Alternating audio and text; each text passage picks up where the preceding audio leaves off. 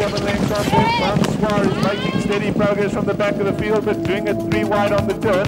Barsack's another one on the move. Soldier Song's now back one to blast. Soldiers the back marker.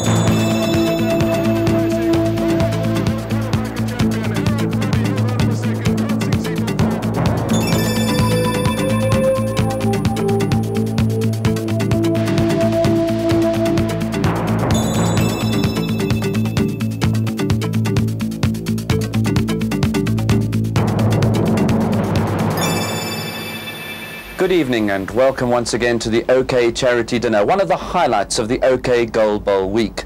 The theme of this evening's dinner is a tribute to Aquanaut and we now invite you to sit back and relax as we relive the triumphs and tragedies of this great horse's career.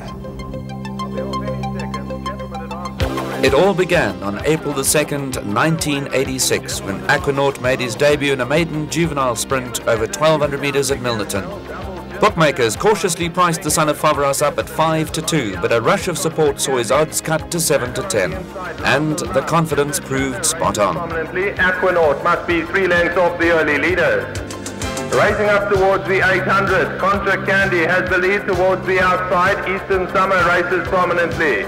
Double Gin is just off the leaders, well enough placed. Then comes Chitter Chatter, Local Love. Aquanaut stole three lengths off them, then Gentleman at Arms, Newshound and Spring Air the trailer. Racing up towards the 400, Double Gin now moving smoothly, comes forward to grab the lead. Along the inside, Chitter Chatter, Aquanaut moving closer all the while. They're racing up to the 300, Double Gin the leader from Chitter Chatter, Aquanaut along the inside, these are three concerned. Double Gin along the outside, Chitter Chatter just inside of that and Aquanaut right along the inside. Double Gin with the advantage, Aquanaut closing fast down the inside and Aquanaut has come through to win going away. Racing up to the line now, runaway victory. Mark, judging from the betting, you were obviously confident that Aquanaut would win first time out. Yes, Graham, I was confident he had shown enough to win. He was still immature, but the class was already there.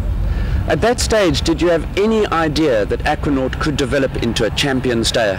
Yes, no, I knew he'd stay, and as I say, he was showing a lot of class, and there was still a lot of scope for improvement. He was a November foal, and at that stage, he was still immature. Two unplaced runs followed Aquanaut's scintillating debut, but as an early three-year-old he struck winning form with a vengeance, winning four races in succession between August and December 1986. Then the equine flu struck, and Aquanaut, with a career record at that stage of five wins from just seven starts, was sidelined along with the majority of horses in South Africa.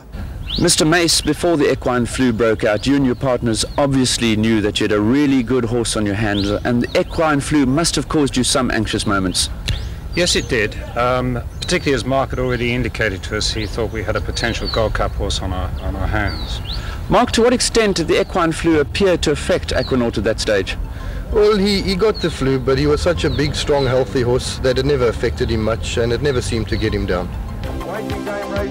Any doubts as to whether Aquanaut had fully recovered from the flu were dispelled when on May the 23rd, 1987, he gained his sixth career victory at the expense of the well-performed Gitano. Diving challenge. Followed then by Chelsea Pirates. Along the inside, Superfly. Aquanaut gonna make a bit up the outside. Still got five to find on Gitano, who's travelling comfortably in the centre.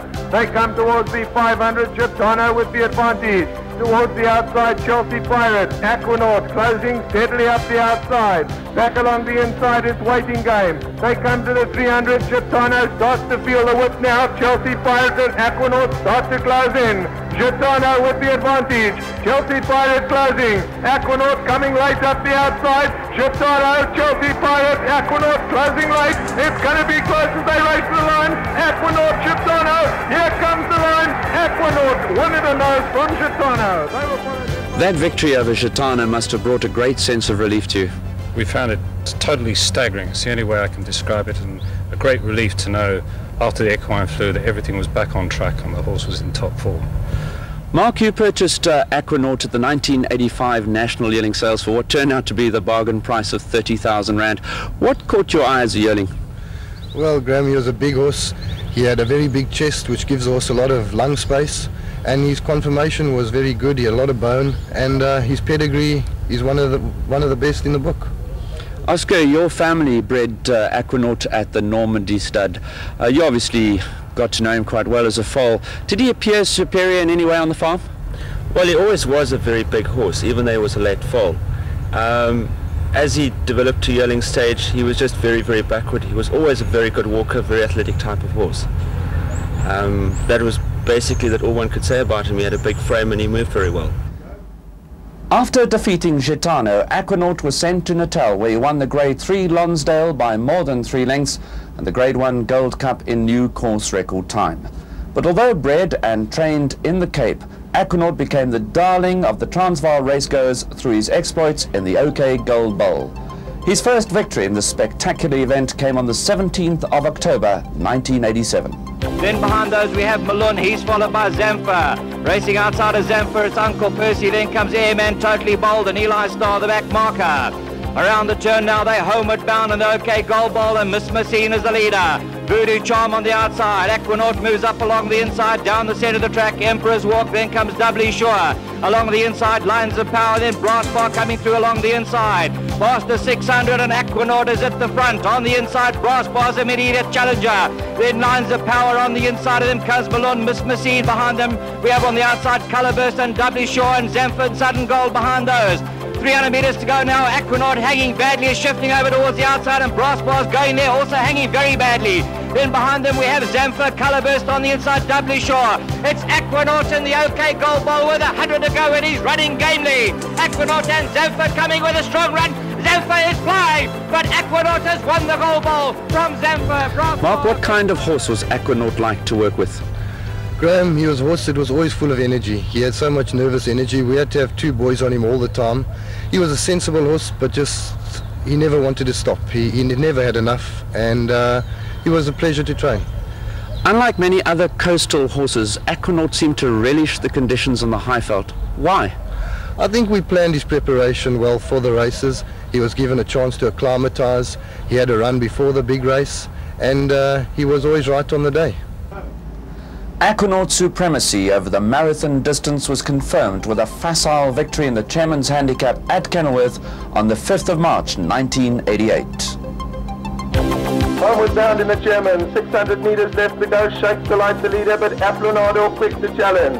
Aquanaut going to make a bid up the inside, all will towards the outside, Bold Buck starts to run on. Shakes the light the leader, Esplanado, Aquanaut closing steadily down the inside as they come to the 400 shakes the light. Esplanado, Aquanaut, La Fastidiosa is running on. They come to the 300 now and Aquanaut hits the front, travelling smoothly. It's Aquanaut carrying too much class for the opposition, gone clear by two. And the weight's not going to stop him this afternoon. He's drawing clear. And Aquanaut confirming he is the country's champion stayer. Draws clear to win it by three. Esplanado battled on for second, just held off La Fastidiosa. Blessed Peace came late for fourth. In the space of just seven months, Aquanaut had won the Gold Cup at Greyville in Durban, the OK Gold Bowl at Turffontein, and the Chairman's Handicap at Kenilworth in Cape Town. After carrying 58 kilos to victory in the Chairman's, many pundits hailed Aquanaut as the greatest stayer ever bred in this country. How did that make you and your partners feel? We were thrilled and we felt very privileged to be associated with such a horse. Oscar, how did you come to plan the mating for Aquanaut? Well, it was Foveros's first year at stud, and the owners of the stallion were offering quite sizable cash incentives to the breeders of the best horses by Foveros. So we wanted to send what we considered to be two good mares, and we bred Aquanaut and Enforce in the first year, which certainly would have got Foveros off to a good start.